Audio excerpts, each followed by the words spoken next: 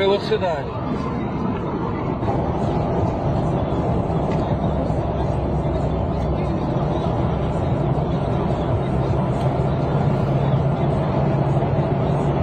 Vou acompanhar.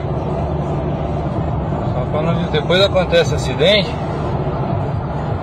120, 130 por hora, um ônibus da dupla Conrado e Alessandro. 120, 130 por hora.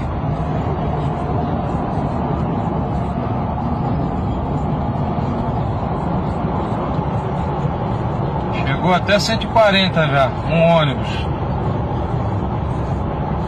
Depois acontece acidente, é culpa de, de, de, sempre de alguma coisa, mas a imprudência fala mais alto aqui, viu? Ela passa os outros caminhões como se fosse um carro pequeno. Ó, 130 por hora. Ó. Chegou a 140 agora há pouco.